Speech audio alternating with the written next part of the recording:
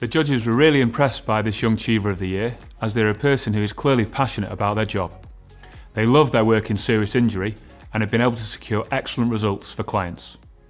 This winner also mentors in several capacities and is truly inspirational. And the winner is Alice Hall from Irwin Mitchell. And very, very well done to Alice. Congratulations.